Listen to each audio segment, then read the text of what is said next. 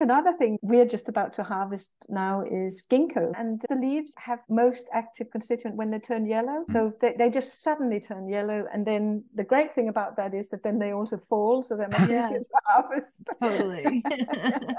but they are all about microcirculation and circulation to the head. Really good for older people to open up circulation and thereby give access to both memories and energy source. I see it a bit like rosemary is also for remembrance. Uh, that's one of the things I love about the ginkgo too is it works with the memory and the brain, but it's such an ancient tree. That's part of it. It's like bringing that ancient memory with it. Mm. Absolutely. Yeah. Yep. It's the only surviving species of its family. Ginkgo is the only member of the ginkgo family. And it's also called a temple tree. And it's such a survivor. In Japan, when Hiroshima and Nagasaki was bombed, the only things that survived were the ginkgo trees in the monasteries.